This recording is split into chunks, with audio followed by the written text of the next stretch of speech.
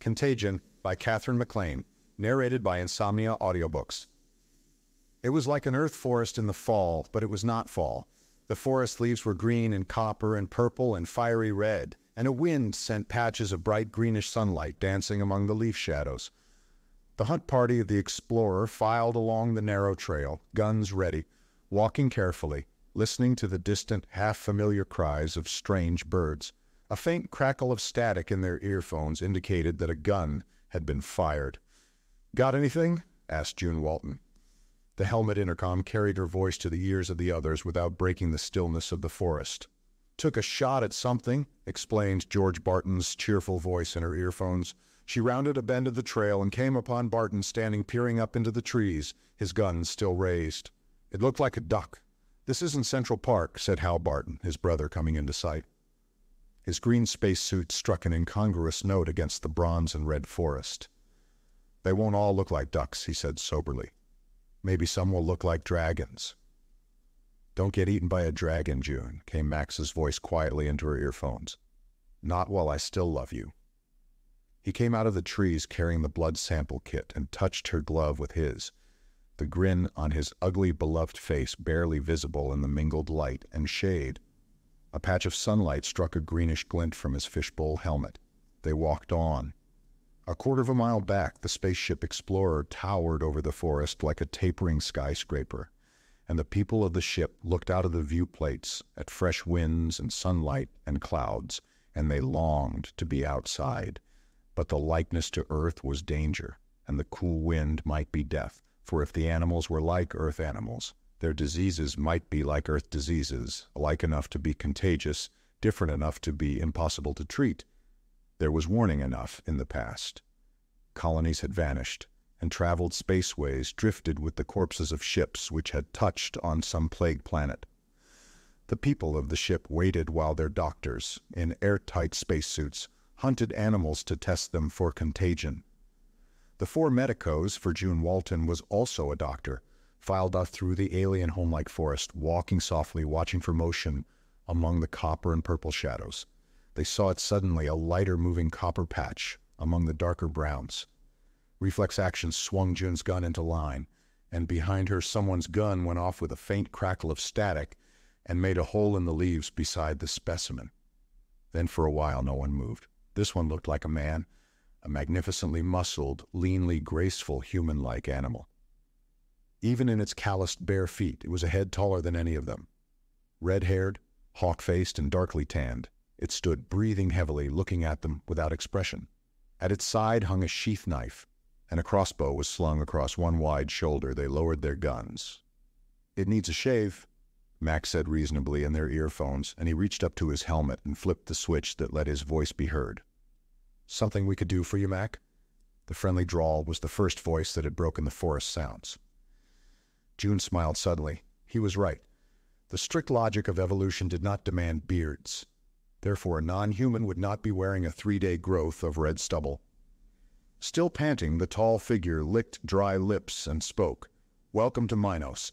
The mayor sends greetings from Alexandria. English, gasped June.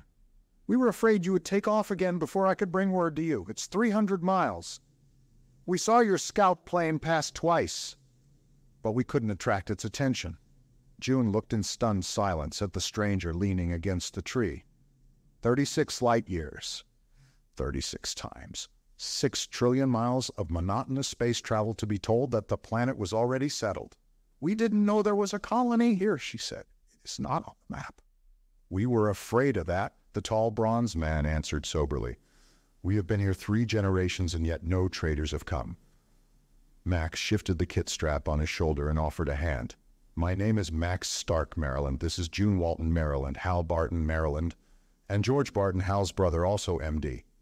Patrick Mead is the name, smiled the man, shaking hands casually. Just a hunter and bridge carpenter myself. Never met any medicos before.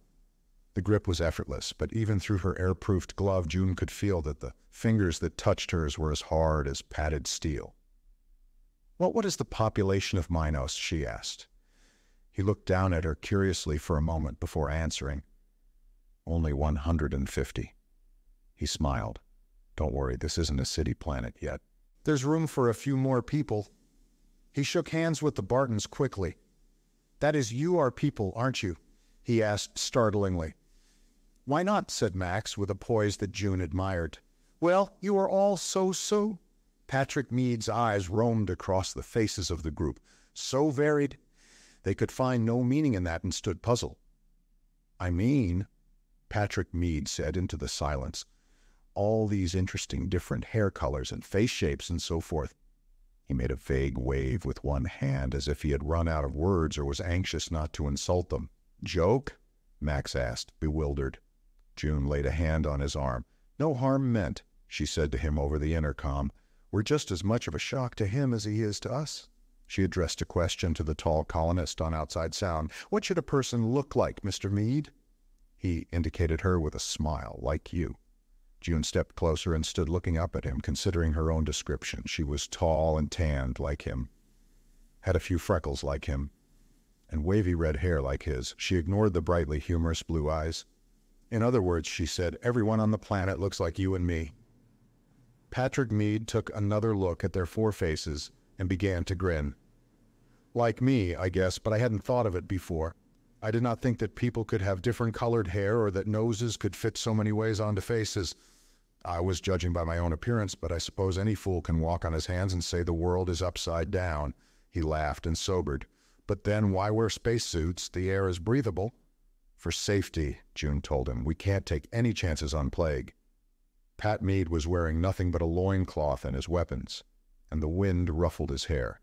He looked comfortable, and they longed to take off the stuffy spacesuits and feel the wind against their own skins. Minos was like home, like Earth, but they were strangers.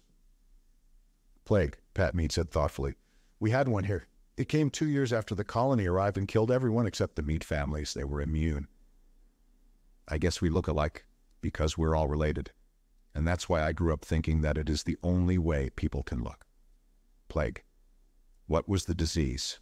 Hal Barton asked pretty gruesome, according to my father. They called it the melting sickness. The doctors died too soon to find out what it was or what to do about it. You should have trained for more doctors or sent to civilization for some. A trace of impatience was in George Barton's voice. Pat Mead explained patiently. Our ship with the power plant and all the books we needed went off into the sky to avoid the contagion and never came back. And the crew must have died. Long years of hardship were indicated by that statement. A colony with electric power gone and machinery stilled, with key technicians dead and no way to replace them.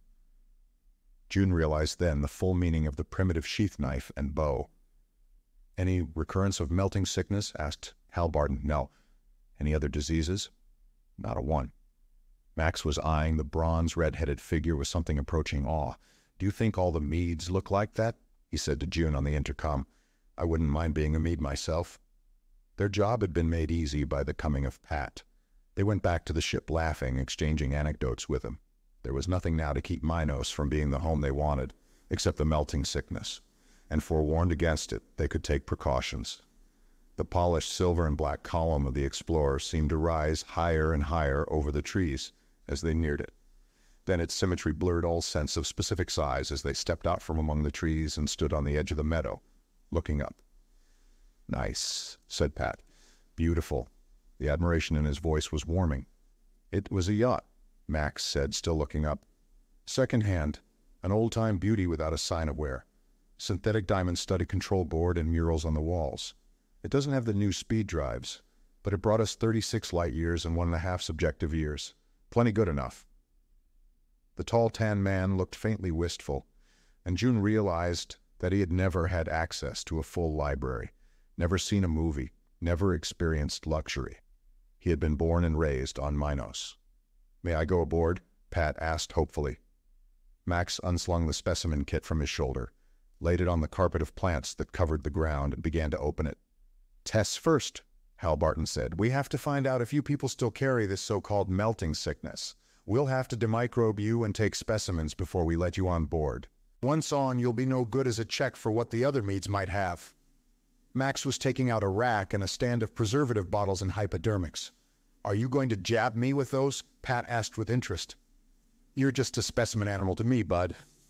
Max grinned at Pat Mead and Pat grinned back.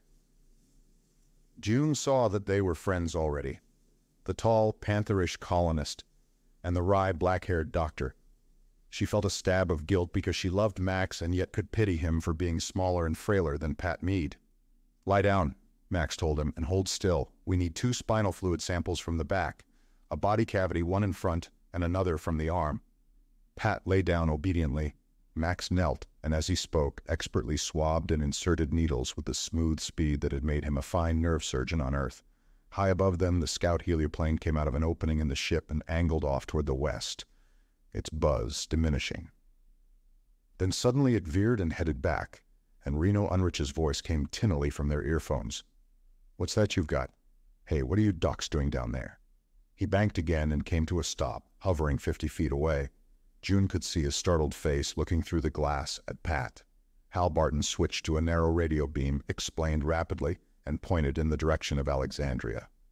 Reno's plane lifted and flew away over the odd-colored forest.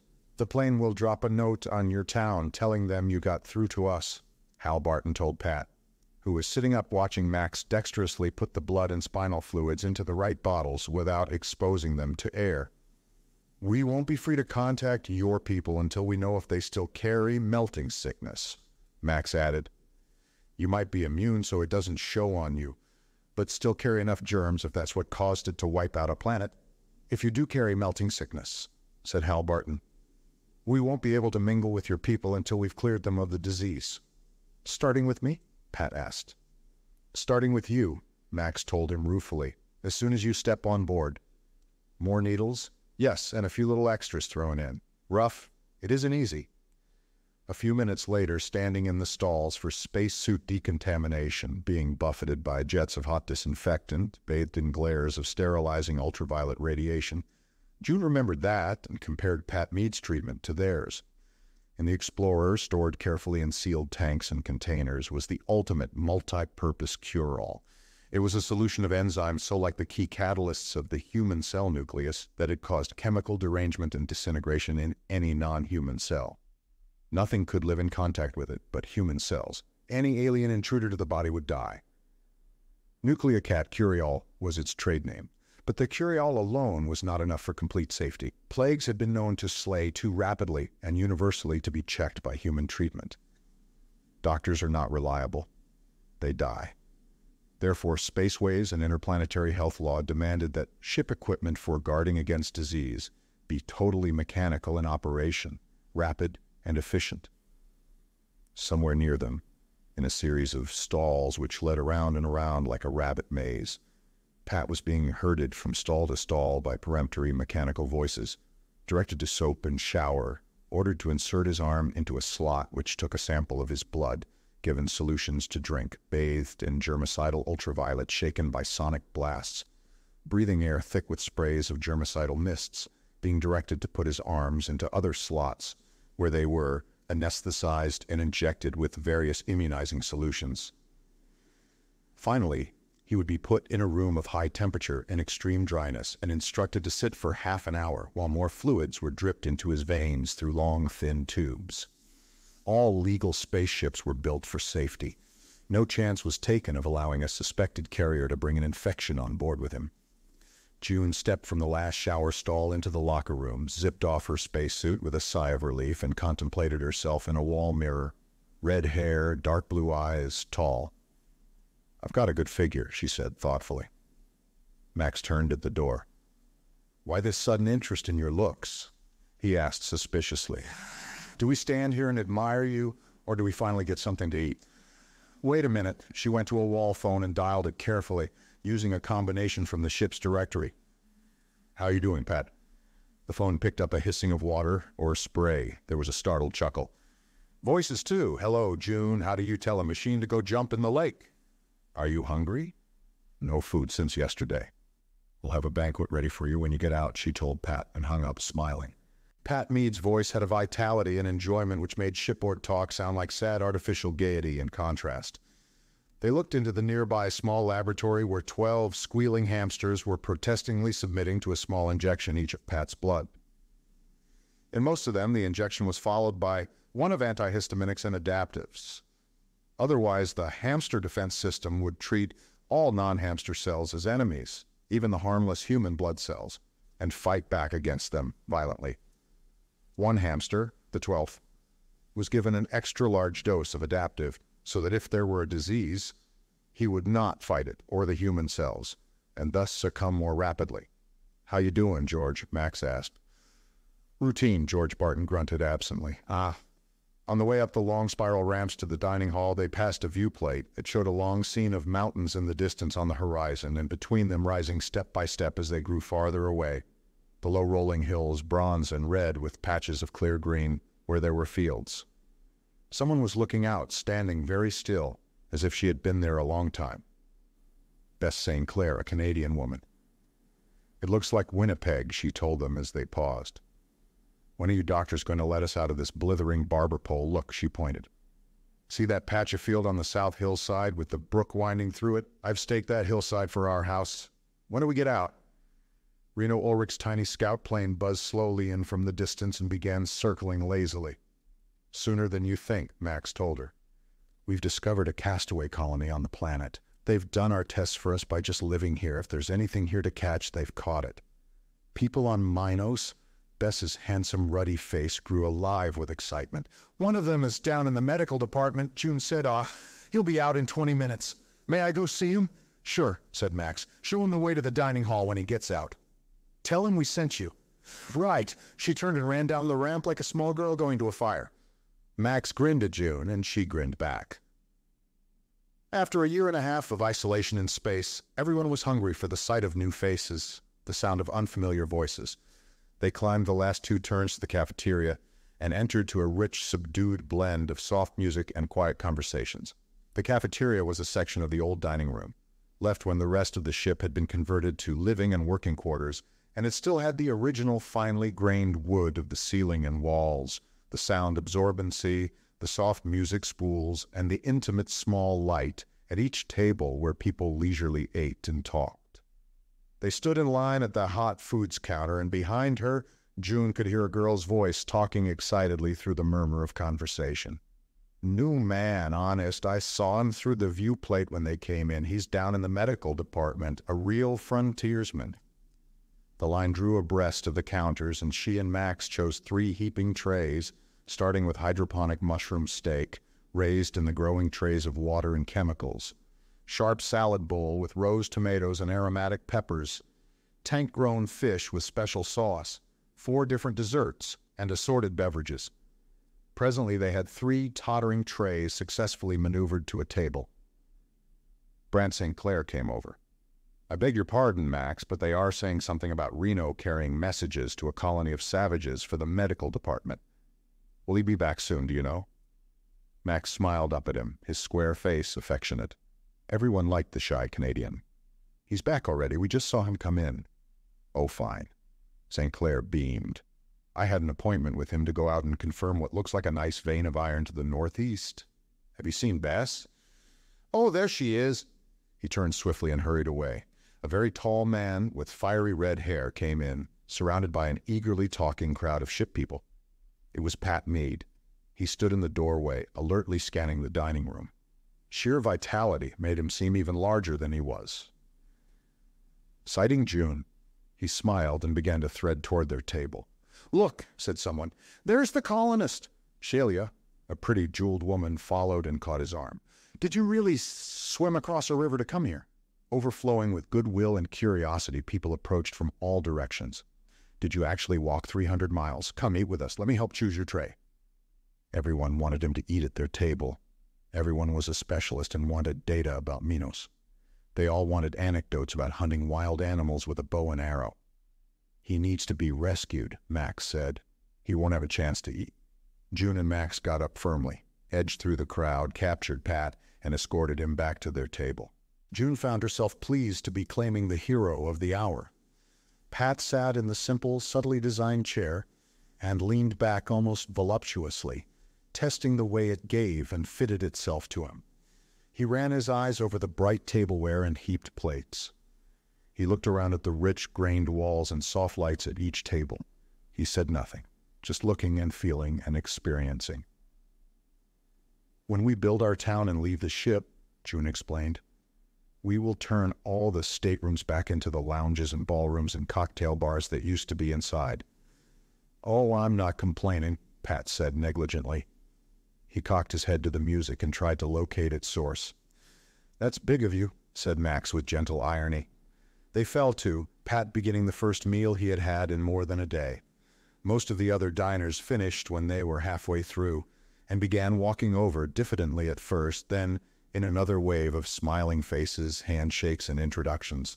Pat was asked about crops, about farming methods, about rainfall and floods, about farm animals and plant breeding, about the compatibility of imported earth seeds with local ground, about mines and strata. There was no need to protect him.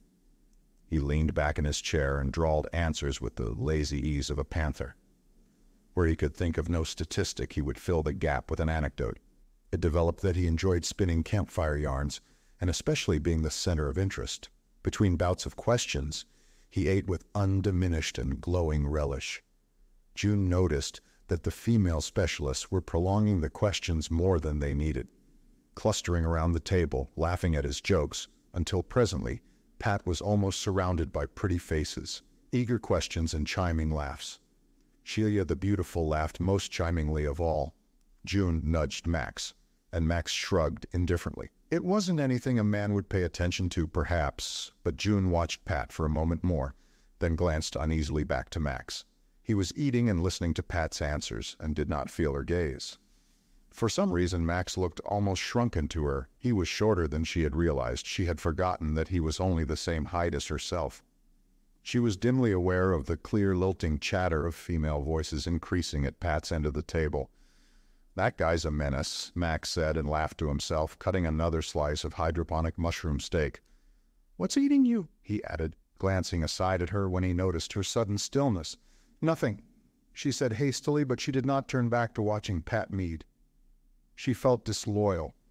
Pat was only a superb animal. Max was the man she loved. Or was he? Of course he was. She told herself angrily they had gone colonizing together because they wanted to spend their lives together.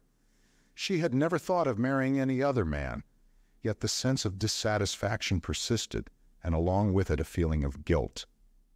Len Marlowe, the protein tank culture technician responsible for the mushroom steaks, had wormed his way into the group and asked Pat a question. Now he was saying, I don't dig you, Pat. It sounds like you're putting the people into the tanks instead of the vegetable. He glanced at them, looking puzzled. See if you two can make anything of this. It sounds medical to me. Pat leaned back and smiled, sipping a glass of hydroponic burgundy. Wonderful stuff. You'll have to show us how to make it. Len turned back to him.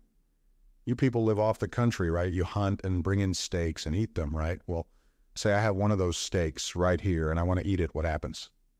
Go ahead and eat it. It just wouldn't digest. You'd stay hungry. Why? Len was aggrieved. Chemical differences in the basic protoplasm of Minos. Different amino linkages, left-handed instead of right-handed molecules in the carbohydrates, things like that. Nothing will be digestible here until you are adapted chemically by a little test tube evolution. Till then you'd starve to death on a full stomach. Pat's side of the table had been loaded with the dishes from two trays. But it was almost clear now, and the dishes were stacked neatly to one side. He started on three desserts, thoughtfully tasting each in turn. Test tube evolution? Max repeated. What's that? I thought you people had no doctors. It's a story. Pat leaned back again. Alexander P. Mead, the head of the Mead clan, was a plant geneticist a very determined personality and no man to argue with. He didn't want us to go through the struggle of killing off all Minos plants and putting in our own, spoiling the face of the planet and upsetting the balance of its ecology. He decided that he would adapt our genes to this planet or kill us, trying. He did it all right. Did which? Asked June, suddenly feeling a sourceless prickle of fear. Adapted us to Minos. He took human cells. She listened intently, trying to find a reason for fear in the explanation. It would have taken many human generations to adapt to Minos by ordinary evolution, and that only at a heavy toll of death and hunger which evolution exacts. There was a shorter way. Human cells have the ability to return to their primeval condition of independence, hunting, eating, and reproducing alone. Alexander P. Mead took human cells and made them into phagocytes. He put them through the hard, savage school of evolution, a thousand generations of multiplication, hardship, and hunger, with the alien, indigestible food always present, offering its reward of plenty to the cell that reluctantly learned to absorb it. Leukocytes can run through several thousand generations of evolution in six months, Pat Mead finished. When they reached to a point where they would absorb Minos food, he planted them back in the people he had taken them from. What was supposed to happen then, Max asked, leaning forward.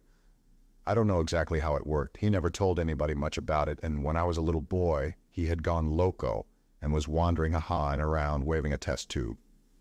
Fell down a ravine and broke his neck at the age of 80. A character, Max said. Why was she afraid? It worked then? Yes. He tried it on all the Meads the first year. The other settlers didn't want to be experimented on until they saw how it worked out. It worked. The Meads could hunt and plant while the other settlers were still eating out of hydroponics tanks. It worked, said Max to Len.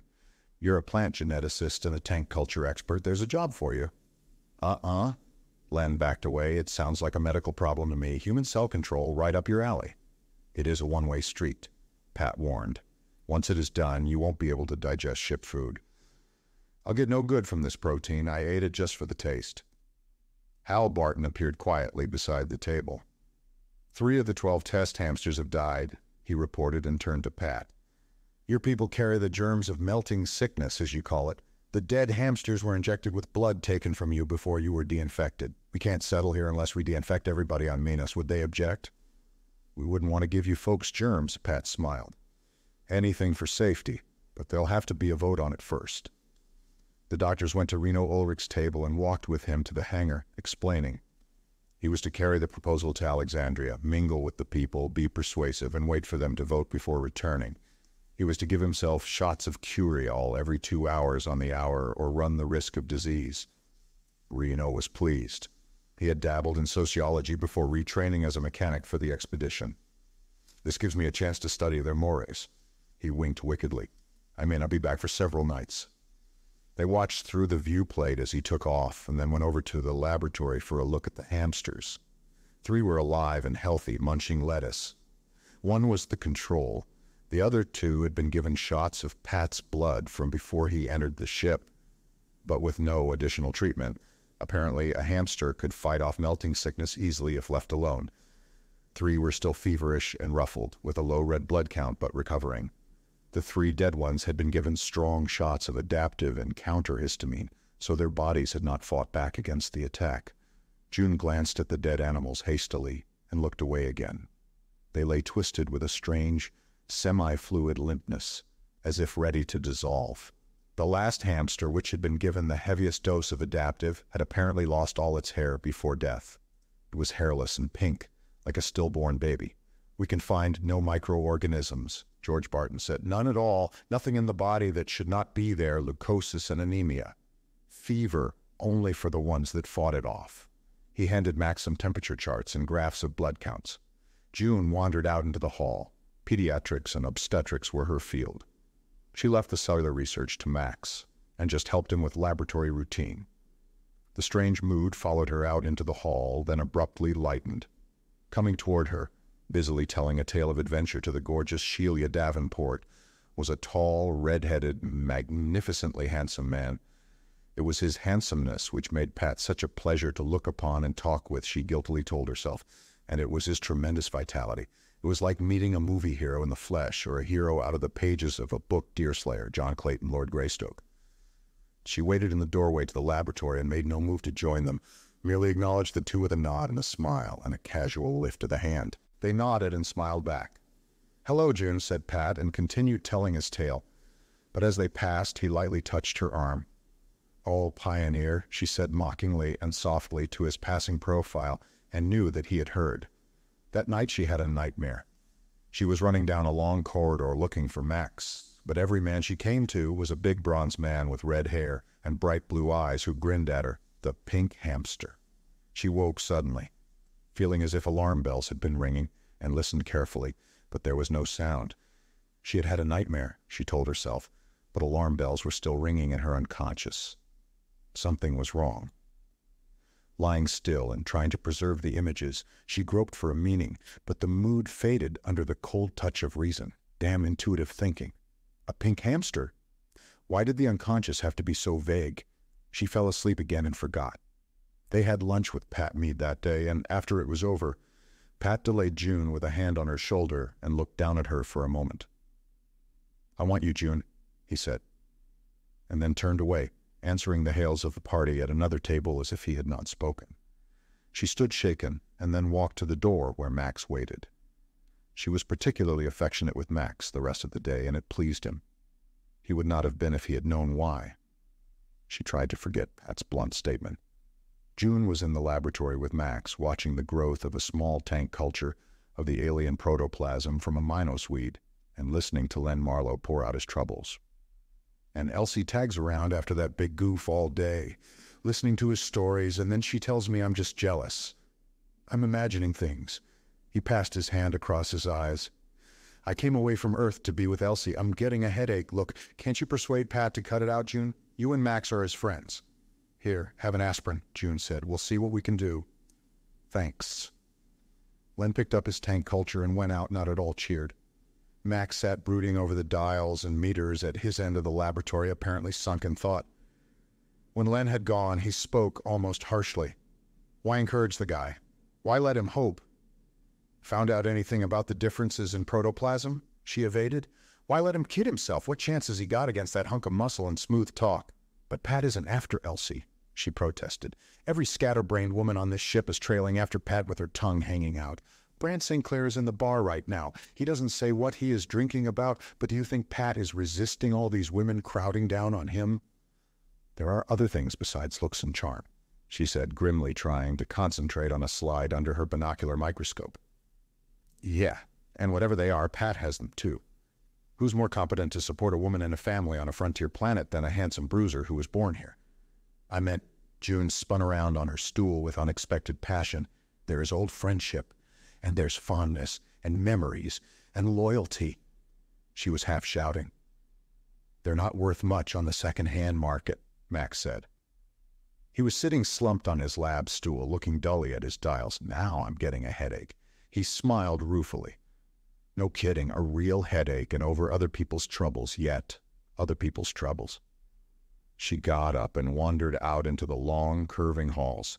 I want you, June, Pat's voice repeated in her mind. Why did the man have to be so overpoweringly attractive, so glaring a contrast to Max? Why couldn't the universe manage to run on without generating troublesome love triangles? She walked up the curving ramps to the dining hall where they had eaten and drunk and talked yesterday. It was empty except for one couple talking forehead to forehead over cold coffee. She turned and wandered down the long, easy spiral of corridor to the pharmacy and dispensary. It was empty. George was probably in the test lab next door where he could hear if he was wanted. The automatic vendor of harmless euphorics, stimulants, and opiates stood in the corner, brightly decorated in pastel abstract designs, with its automatic tabulator graph glowing above it. Max had a headache, she remembered. She recorded her thumbprint in the machine and pushed the plunger for a box of aspirins, trying to focus her attention on the problem of adapting the people of the ship to the planet Minos. An aquarium tank with a faint solution of histamine would be enough to convert a piece of human skin into a community of voracious active phagocytes, individually seeking something to devour. But could they eat enough to live away from the rich, sustaining plasma of human blood? After the aspirins, she pushed another plunger for something for herself. And she stood looking at it.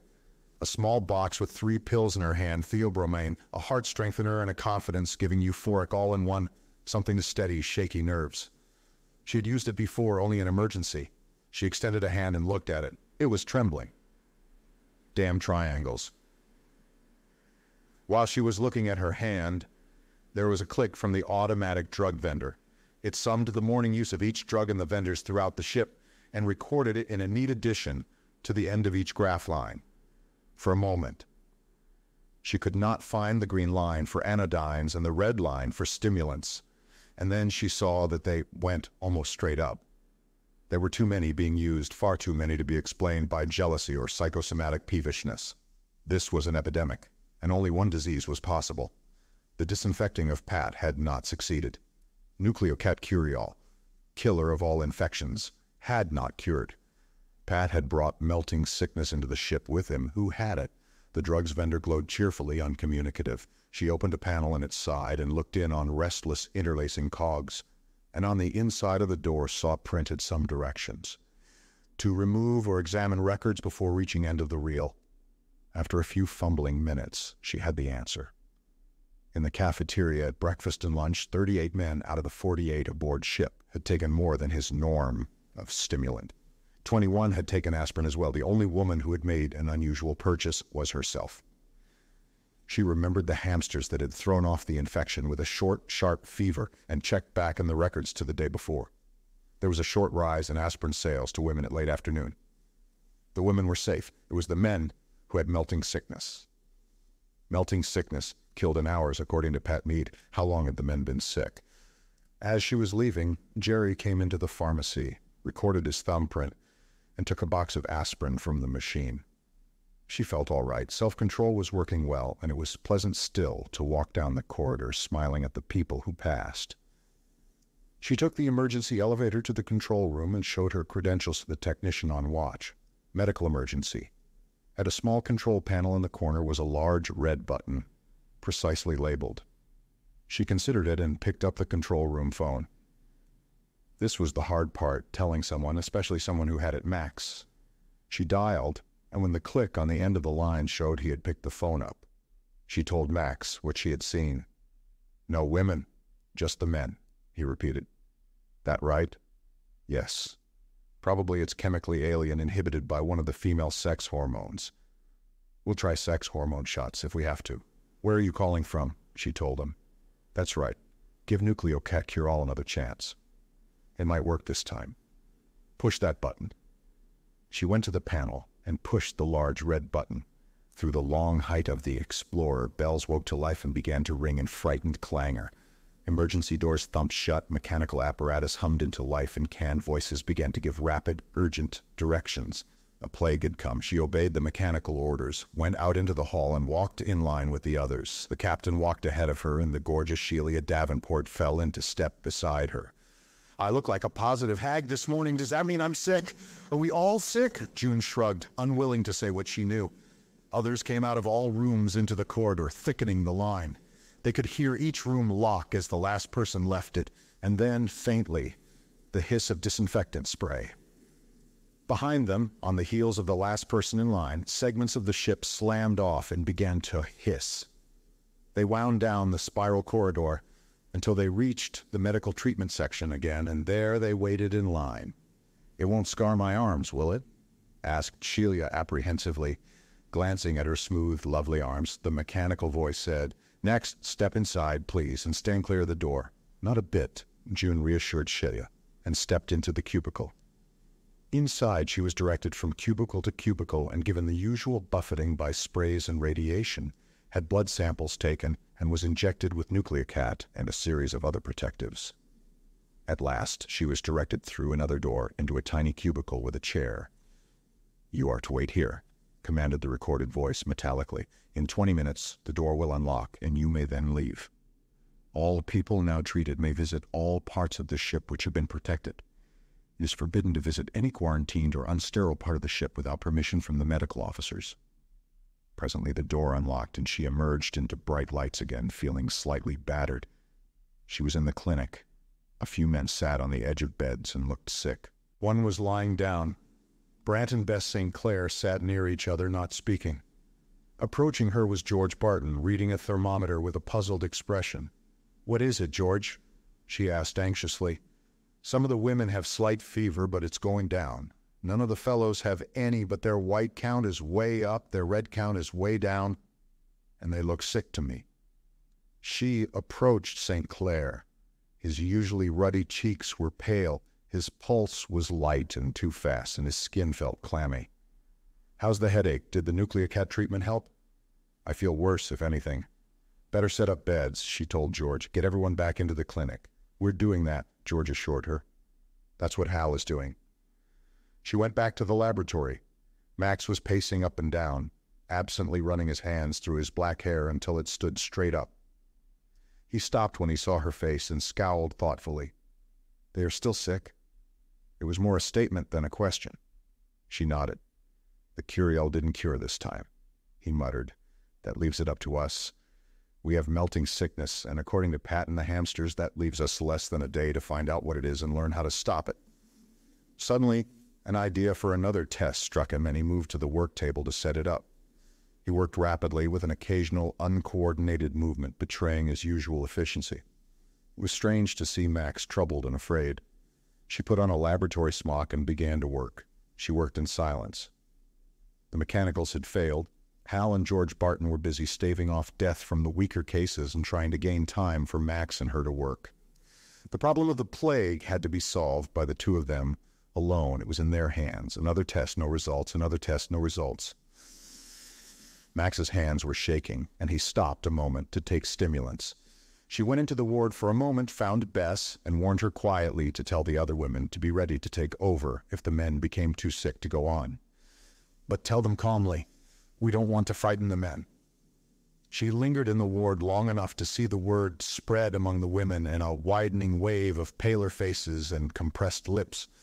Then she went back to the laboratory. Another test. There was no sign of a microorganism in anyone's blood, merely a growing horde of leukocytes and phagocytes prowling as if mobilized to repel invasion. Len Marlowe was wheeled in unconscious, with Hal Barton's written comments and conclusions pinned to the blanket. I don't feel so well myself, the assistant complained. The air feels thick. I can't breathe. June saw that his lips were blue. Oxygen short, she told Max.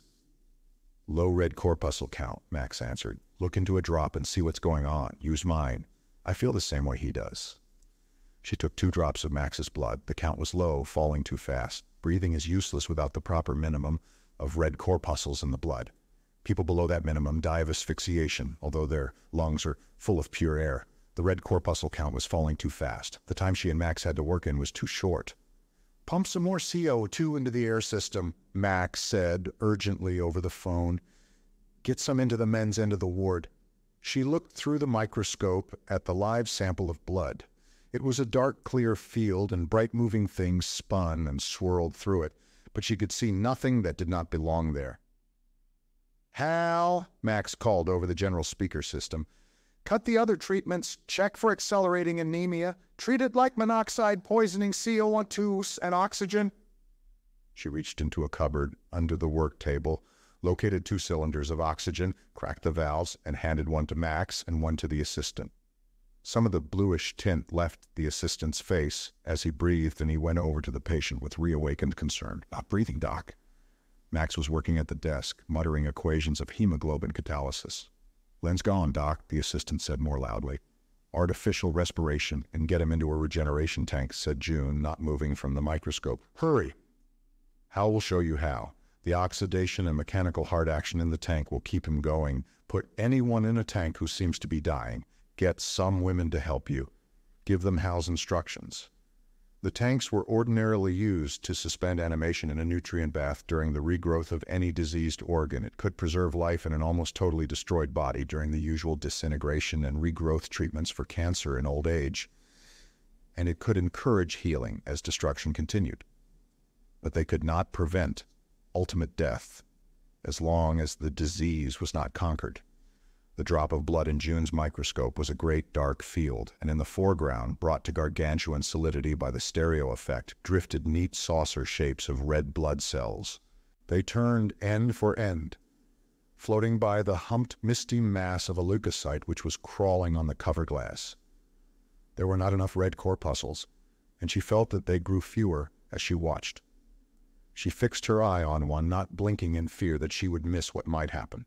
It was a tidy red button, and it spun as it drifted, the current moving it aside in a curve as it passed by the leukocyte. Then abruptly, the cell vanished. June stared numbly at the place where it had been. Behind her, Max was calling over the speaker system again. Dr. Stark speaking. Any technician who knows anything about the life tanks, start bringing more out of storage and set them up. Emergency. We may need 47, June said quietly. We may need 47, Max repeated to the ship in general. His voice did not falter set them up along the corridor, hook them in on extension lines. His voice filtered back from the empty floors above in a series of dim echoes. What he had said meant that every man on board might be on the point of heart stoppage. June looked blindly through the binocular microscope, trying to think. Out of the corner of her eyes, she could see that Max was wavering and breathing more and more frequently of the pure, cold, burning oxygen of the cylinders. In the microscope, she could see that there were fewer red cells left alive in the drop of his blood. The rate of fall was accelerating. She didn't have to glance at Max to know how he would look. Skin pale black eyebrows and keen brown eyes, slightly squinted in thought. A faint, ironical grin twisting the bluing lips intelligent, thin, sensitive. His face was part of her mind. It was inconceivable that Max could die. He couldn't die. He couldn't leave her alone. She forced her mind back to the problem. All the men of the Explorer were at the same point, wherever they were. Moving to Max's desk, she spoke into the intercom system. Bess, send a couple of women to look through the ship, room by room, with a stretcher. Make sure all the men are down here. She remembered Reno. Sparks, Heard anything from Reno? Is he back? Sparks replied weakly after a lag. The last I heard from Reno was a call this morning. He was raving about mirrors and Pat Mead's folks not being real people, just carbon copies, and claiming he was crazy, and I should send him the psychiatrist. I thought he was kidding. He didn't call back. Thanks, Sparks. Reno was lost. Max dialed and spoke to the bridge over the phone. Are you okay up there? Forget about engineering controls. Drop everything and head for the tanks while you can still walk. June went back to the work table and whispered into her own phone. Bess, send up a stretcher for Max. He looks pretty bad. There had to be a solution.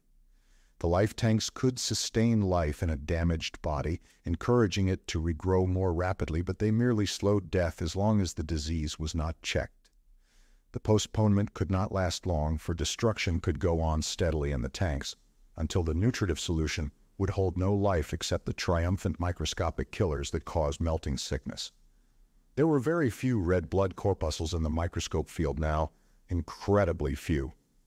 She tipped the microscope and they began to drift, spinning slowly. A lone corpuscle floated through the center. She watched it as the current swept it in an arc past the dim off-focus bulk of the leukocyte. There was a sweep of motion and it vanished. For a moment it meant nothing to her. Then she lifted her head from the microscope and looked around. Max sat at his desk, head in hand, his rumpled short black hair sticking out between his fingers at odd angles. A pencil and a pad scrawled with formulas lay on the desk before him. She could see his concentration in the rigid set of his shoulders. He was still thinking. He had not given up. Max, I just saw a leukocyte grab a red blood corpuscle. It was unbelievably fast. Leukemia, muttered Max without moving. Galloping leukemia, yet that comes under the heading of cancer. Well, that's part of the answer. It might be all we need. He grinned feebly and reached for the speaker set. Anybody still on his feet in there? He muttered into it, and the question was amplified to a booming voice throughout the ship. Hal, are you still going? Look, Hal, change all the dials, change the dials, set them to deep melt and regeneration. One week, this is like leukemia. Got it? This is like leukemia. June rose. It was time for her to take over the job. She leaned across his desk and spoke into the speaker system. Dr. Walton talking, she said. This is to the women. Don't let any of the men work anymore. They'll kill themselves. See that they all go into the tanks right away. Set the tank dials for deep regeneration you can see how from the ones that are set. Two exhausted and frightened women clattered in the doorway with a stretcher. Their hands were scratched and oily from helping to set up tanks. That order includes you, she told Max sternly, and caught him as he swayed. Max saw the stretcher bearers and struggled upright. Ten more minutes, he said clearly. Might think of an idea, something not right in this setup. I have to figure how to prevent a relapse, of how the thing started.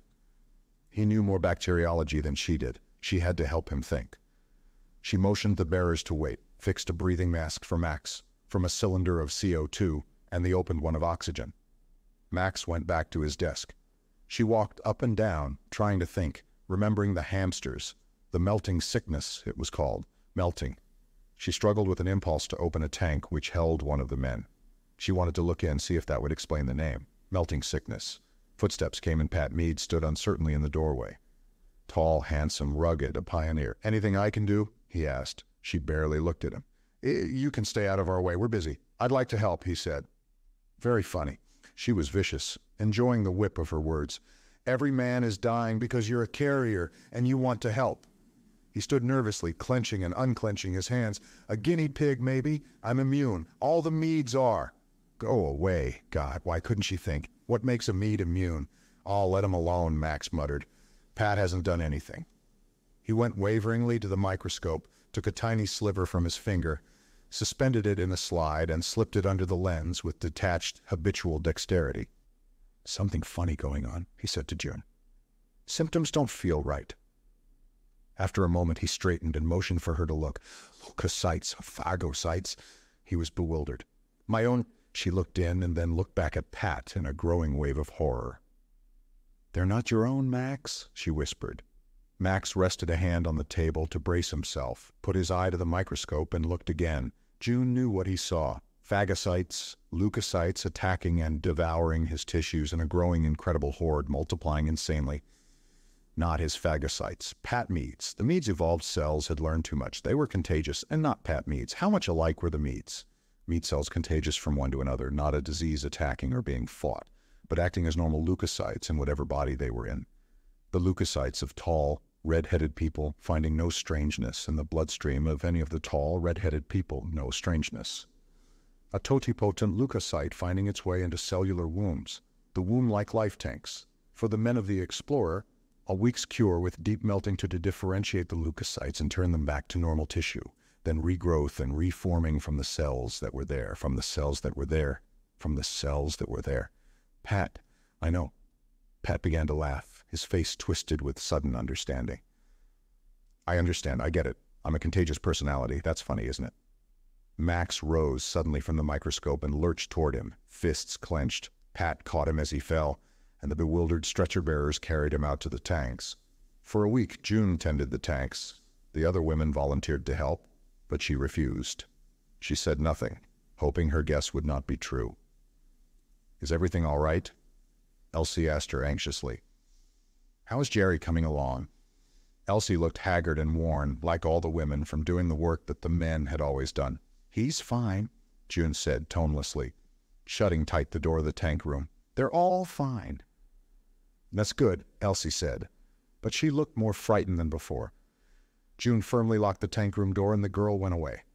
The other women had been listening, and now they wandered back to their jobs, unsatisfied by June's answer, but not daring to ask for the actual truth. They were there whenever June went into the tank room, and they were still there or relieved by others. June was not sure when she came out and always someone of them asked the unvarying question for all the others, and June gave the unvarying answer. But she kept the key. No woman but herself knew what was going on in the life tanks. Then the day of completion came. June told no one of the hour. She went into the room as on the other days, locked the door behind her, and there was the nightmare again.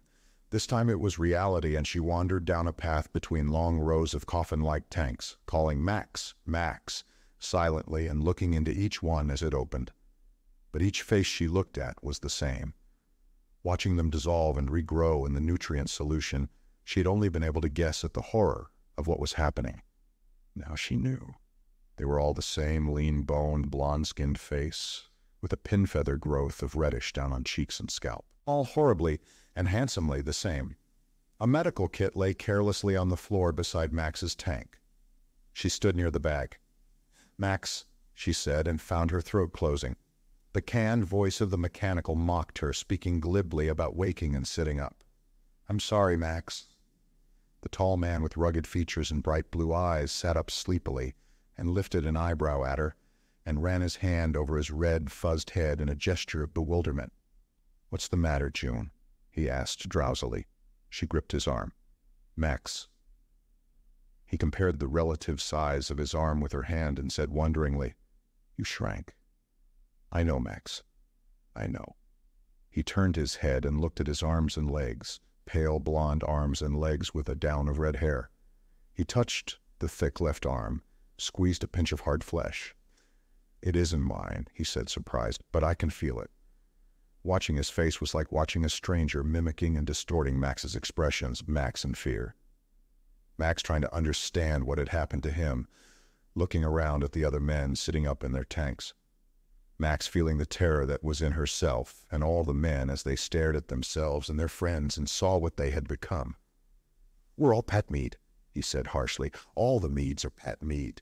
That's why he was surprised to see people who didn't look like himself. Yes, Max. Max, he repeated. It's me, all right. The nervous system didn't change. His new blue eyes held hers.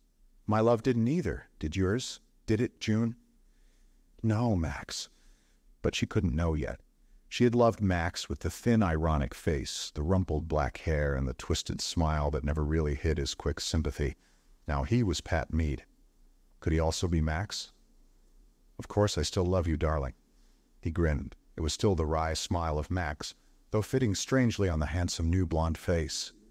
Then it isn't so bad. It might even be pretty good. I envied him, this big, muscular body, if Pat or any of these Meads so much as looks at you, I'm going to knock his block off. Understand? She laughed and couldn't stop. It wasn't that funny, but it was still Max, trying to be unafraid, drawing on humor. Maybe the rest of the men would also be their old selves, enough so the women would not feel that their men were strangers. Behind her, male voices spoke characteristically. She did not have to turn to know which was which. This is one way to keep a guy from stealing your girl. That was Len Marlowe.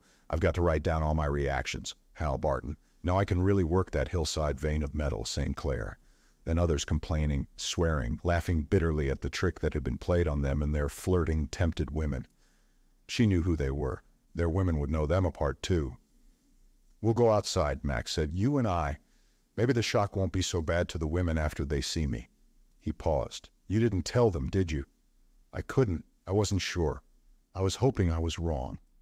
She opened the door and closed it quickly. There was a small crowd on the other side.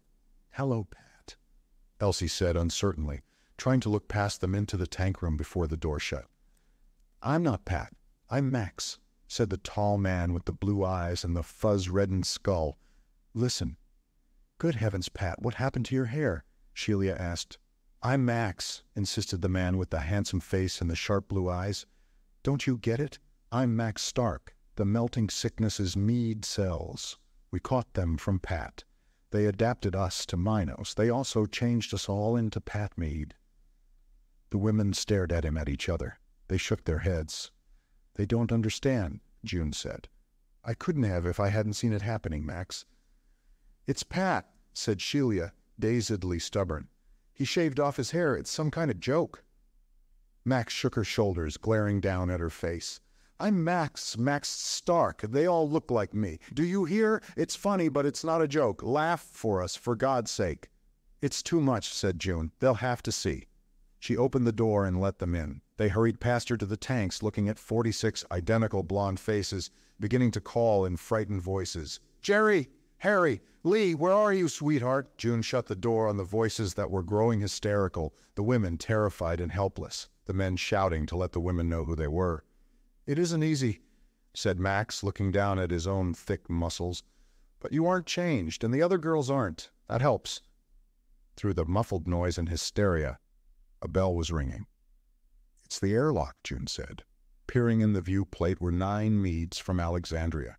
To all appearances, eight of them were Pat Mead at various ages, from 15 to 50, and the other was a handsome, leggy, red-headed girl who could have been his sister.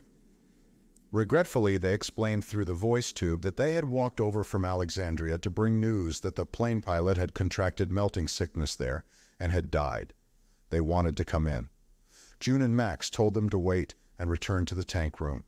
The men were enjoying their new height and strength, and the women were bewilderedly learning that they could tell one Pat Mead from another by voice, by gesture of face or hand. The panic was gone. In its place was a dull acceptance of the fantastic situation. Max called for attention. There are nine Meads outside who want to come in. They have different names, but they're all Pat Mead. They frowned or looked blank. And George Barton asked, Why didn't you let them in? I don't see any problem. One of them, said Max soberly, is a girl, Patricia Mead. The girl wants to come in. There was a long silence while the implication settled to the fear center of the women's minds. Sheila the Beautiful felt it first. She cried, No, please don't let her in. There was real fright in her tone, and the women caught it quickly. Elsie clung to Jerry, begging, You don't want me to change, do you, Jerry? You like me the way I am. Tell me you do. The other girls backed away.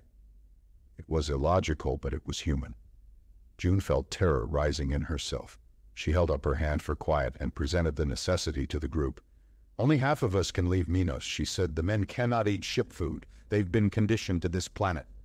We women can go, but we would have to go without our men. We can't go outside without contagion, and we can't spend the rest of our lives in quarantine inside the ship. George Barton is right, there is no problem. But we'd be changed, Sheila shrilled. I don't want to become a Mead. I don't want to be somebody else. She ran to the inner wall of the corridor. There was a brief hesitation, and then one by one the women fled to that side until there were only Bess, June, and four others left.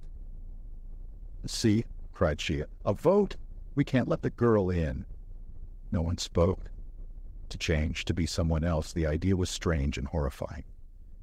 The men stood uneasily glancing at each other, as if looking into mirrors, and against the wall of the corridor. The women watched in fear and huddled together, staring at the men. One man in 47 poses.